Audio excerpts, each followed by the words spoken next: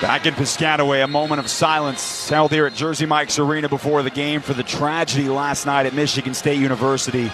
The entire Big Ten community thinking about the lives tragically lost due to a shooter on the campus at MSU last night, those critically injured, and all the students, faculty, and everyone in the Michigan State community affected by that shooting on that campus last night.